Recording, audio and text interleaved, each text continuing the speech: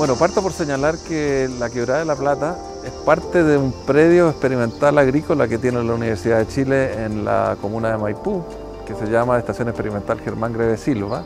que la posee la universidad desde el año 1933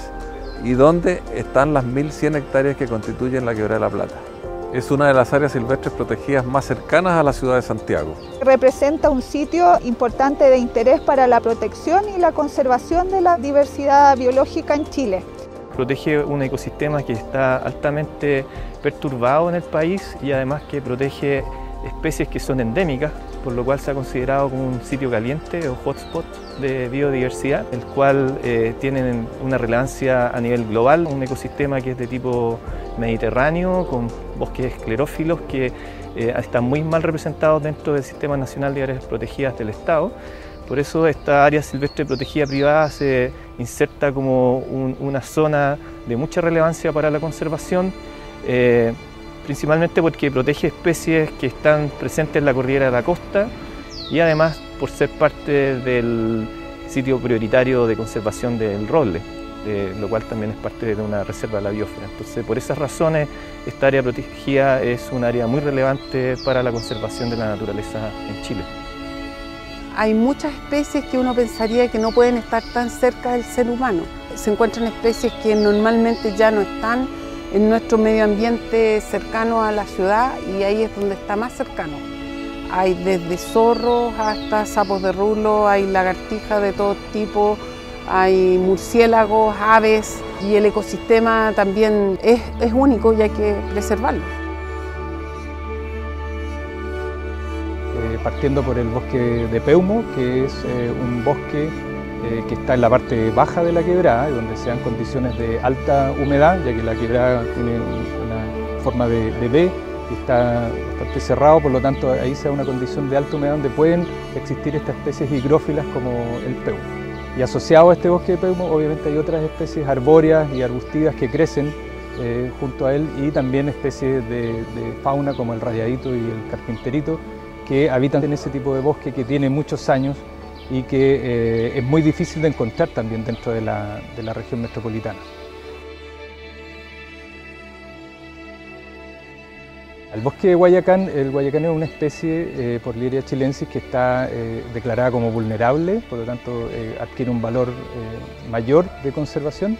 Y en la Quebrada de la Plata se da la condición de que hay una subpoblación bastante importante de guayacanes. Generalmente se encuentran en forma aislada, en pequeños números, sin embargo en la, en la quebrada hay una población bastante grande de guayacanes.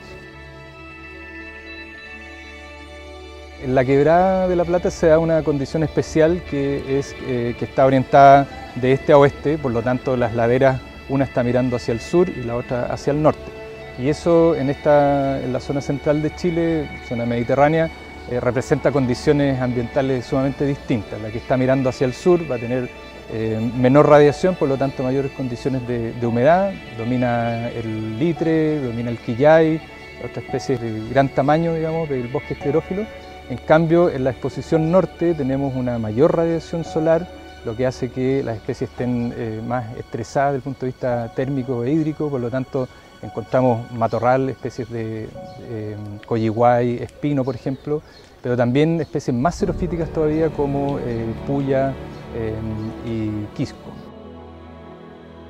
Bueno, la Quebrada de la Plata siempre ha sido un lugar muy visitado por la gente y, en parte eh, porque tiene especies que son muy llamativas, eh, que, tienen una floración muy exuberante, eh, entonces hay, hay, añañucas, hay astromerias, crean manchones de flores que hacen que en esta época de floración sea muy llamativo y la gente lo quiere visitar. Principalmente voy a hacer mayor énfasis desde el punto de vista patrimonio cultural e histórico, los cuales reflejan eh, diversos puntos o hitos, por ejemplo los polvorines, que son estructuras que eh, fueron eh, creadas o diseñadas aproximadamente en los años 70 por las Fuerzas Armadas y que representan un hito importante que la gente visita constantemente y los llama la atención por estar insertos en el cerro. Son seis estructuras. Otros puntos son hornos caleros, que ah, eh, se, asocia o se cree que estaban eh, destinados para cuando se eh, explotaba la caliza rescatar todo el patrimonio cultural e histórico que existe desde el punto de vista de la historia, los mitos, las leyendas asociados a este santuario. Hay otros lugares que la gente rememora o recuerda con mucho interés, que es un lugar donde se que llaman la cascada, que antiguamente se veía muy, muy constante el agua, ahora ya es un flujo menor, más pequeño. El Santuario de la Naturaleza Quebrada de la Plata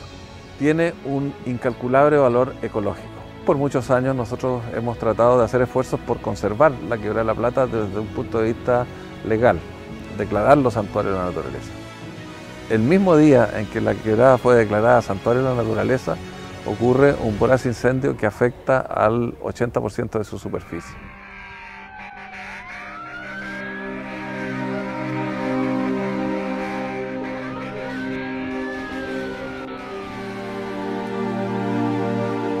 Ese incendio fue terrible porque eh, de la medida que avanzó y que desde que se inició hasta que fue declarado oficialmente controlado pasaron a prácticamente una semana. Pero solamente destacar que los esfuerzos humanos por proteger tanto el patrimonio natural que existía como la infraestructura y las vidas humanas hicieron todos los esfuerzos posibles. Fue entonces que constituimos un grupo de trabajo interinstitucional, interdisciplinario, que nos abocamos al diseño de un plan de recuperación de la quebrada y a un plan de manejo del santuario. Y creemos que se ha elaborado un plan que puede ser considerado un referente nacional para contribuir en la recuperación y conservación de la biodiversidad y del patrimonio histórico nacional. Bueno, el plan de restauración es un plan donde han participado profesionales de muchas eh, especialidades distintas y también de muchas instituciones distintas. Y también está eh, una comunidad que es muy activa por lo tanto, este se ha constituido como una especie de plan eh, piloto a nivel nacional. Es un plan de restauración socioecológica porque no solamente busca recuperar la parte ecológica del santuario, sino que hacerlo con la comunidad y recuperar también su, valor eh, histórico y cultural. Bueno, el, plan de restauración tiene varios lineamientos. Obviamente uno de ellos es hacer un monitoreo de la recuperación natural que tiene la quebrada pero también de cómo eh, nosotros podemos ayudar a que esa recuperación sea más rápida. Por lo tanto, eh, hemos implementado varios ensayos de, por un lado, control de la erosión, ¿cierto? Después de un incendio la superficie queda descubierta, por lo tanto queda sujeta a mayor riesgo de erosión por las precipitaciones principalmente. Y estamos haciendo entonces ensayos de control de erosión, estamos haciendo ensayos de revegetación, donde estamos incorporando especies que existen en el lugar, pero que nosotros las estamos plantando o sembrando, de manera de acelerar ese proceso de recuperación natural y eh, llegar a un punto en que em, la restauración, digamos, la recuperación natural de la quebrada pueda seguir por sí sola, y después de lo cual tendríamos que eh, simplemente monitorear cómo ese, ese proceso sigue. Para avanzar en la restauración del santuario, en el año 2017 postulamos a un fondo de protección ambiental del Ministerio del Medio Ambiente, el cual fue adjudicado con el proyecto de restauración socioecológica del Santuario de la Naturaleza de Quebrada La Plata. Eh, este proyecto lo que busca es consolidar los primeros pasos hacia una red colaborativa, interdisciplinaria, interinstitucional y comunitaria para la restauración del santuario, ya que lo que se requiere es no solo hacer una restauración de la naturaleza y de los ecosistemas que están degradados en el santuario, sino también impulsar la vinculación de la comunidad y de la sociedad hacia la restauración del santuario mismo. Bueno, luego de que la Quebrada de la Plata fue declarada un santuario de la naturaleza, eh, se eh, empezó un proceso que es de la planificación del uso y del manejo que se le va a dar al, santuario eh, a través de un instrumento de gestión que se llama plan de manejo. Se hicieron distintos tipos de instancias participativas con la comunidad, en la cual involucró a la, a la, comunidad principalmente de Rinconada de Maipú, pero también a distintos actores institucionales. Luego de distintos talleres y distintas discusiones se llegó a una, visión eh, compartida de qué es lo que nosotros esperamos que sea este, este santuario de la naturaleza en los años que se vienen. Para el plan de manejo lo que se trata de hacer es de identificar distintos objetos de conservación. Aparte de la definición de objetos de conservación, el plan de manejo se construye en base a las potenciales amenazas que están afectando el santuario de la naturaleza. El año 2012 entró en forma ilegal una empresa minera que tomó varios años poder eh, expulsar porque eh, se refugiaban en varios eh, resquicios legales y ahí hubo una una acción conjunta de la comunidad con la universidad, las autoridades que hicieron que finalmente se pudiera expulsar esta, esta minera. Pero como amenaza eh, sigue vigente porque em, es un sitio donde hay cobre y otros minerales que son atractivos para la actividad minera, por lo tanto es una amenaza importante. Pero este, este evento de minería entre el año 2012 y 2015 generó eh, más de 40 hectáreas que quedaron totalmente desprovistas de vegetación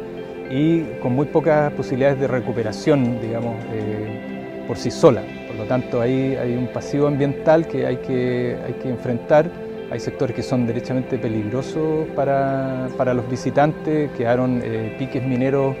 no cerrados y, eso eh, hay que trabajar claramente en, acciones para poder cerrar eso y poder recuperarlo, poder hacer restauración en ese, en ese sector. Y una de las principales amenazas que tenemos en este momento en el Santuario de la Naturaleza son todas las actividades que se realizan dentro de él que no están reguladas.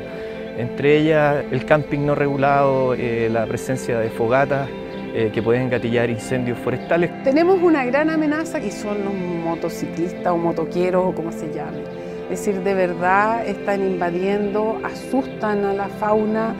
eh, pasan por lugares, encontramos eh, lagartijas y culebras muertas en, los caminos de acceso. Han creado nuevas rutas porque con el incendio obviamente se abrieron espacios que estaban antes más cerrados por, por la vegetación, ahora pasan por ahí libremente. Una es que generan sitios o huellas por pasos no habilitados, dañan el terreno y aparte el ruido, el impacto, tanto auditivo como visual que producen, afectan directamente a la fauna presente en el lugar, a la fauna y la flora. La otra gran amenaza obviamente que son los incendios. Los incendios ya sea sobre todo para la fauna de baja movilidad, porque obviamente que no pueden arrancar ni, esconderse rápidamente frente a lenguas de fuego. Simplemente eh, pedir la colaboración. Eh, hay ciertas actividades que muchas veces eh, nosotros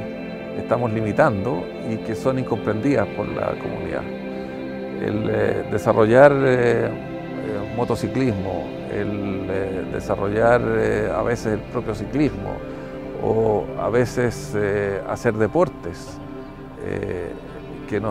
que no sean compatibles con el trabajo de conservación son un poco incomprendidos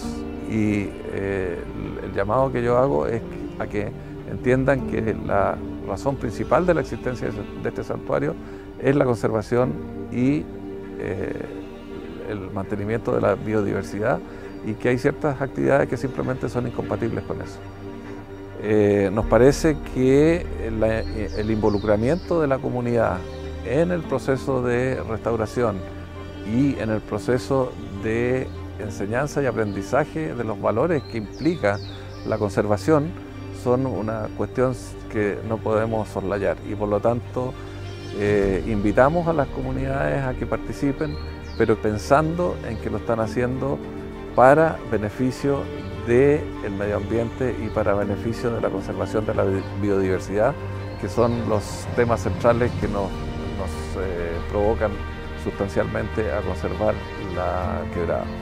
La Quebrada de la Plata tiene un tremendo valor desde el punto de vista docente, desde el punto de vista de la investigación y desde el punto de la relación que nosotros tenemos con la comunidad, porque eh, queremos que la Quebrada de la Plata sea un referente en cuanto a enseñanza medioambiental en eh, el país.